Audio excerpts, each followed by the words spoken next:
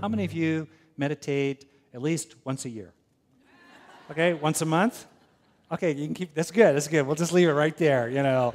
We're, we're grateful for anything we can get. No, that's good. Okay, so this is about you in a lot of ways. People who do some kind of meditative practice, sort of routinely, pretty much much of the time, you know, 10, 20, 30 minutes a day, 45 on a good day. In other words, people like me, real world, okay, they actually have measurably thicker brains in certain key regions. So the number one region up here is called the insula. It's a part of the brain, and again, there are two of them, that is involved in what's called interoception, tuning into the internal state of your body, and as well as your deep feelings. No wonder they're tuning into themselves. Probably a lot of what they're doing is practicing mindfulness of breathing. They're getting in touch. They're staying really present with what's going on. No wonder they're using and therefore they're building, much like a muscle by analogy, literally. They're using it so they build it, the insula. Second, the uh, second region is the frontal regions of the prefrontal cortex, the frontal areas, uh, that are involved again in controlling attention. No surprise here as well. They're using attention, so they're getting more control over it, and they're, you know, they're strengthening its neural basis.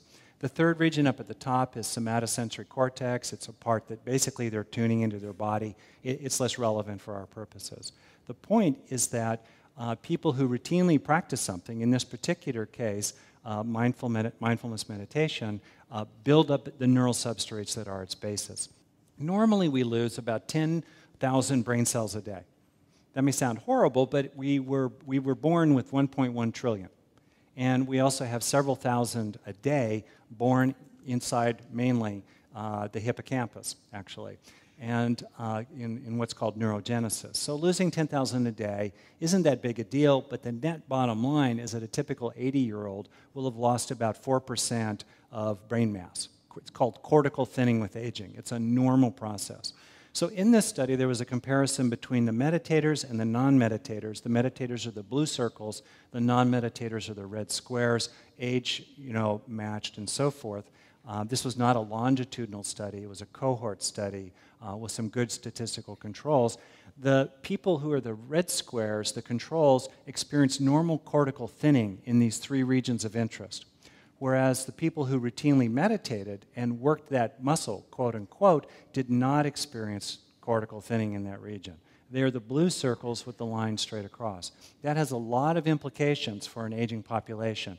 I had a birthday yesterday, and so, you know, it's on my mind, and uh, it's always a little more gray hair every, every year in the mirror. So, anyway, use it or lose it, right? It applies to the brain as well as to other aspects of life.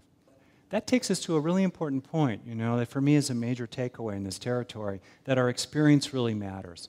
Um, it doesn't just matter moment to moment in terms of, okay, subjective well being, as Bob was saying earlier, you know, how it feels to be me, but it also really matters uh, in the lasting residues that we, it leaves behind, woven into our very being.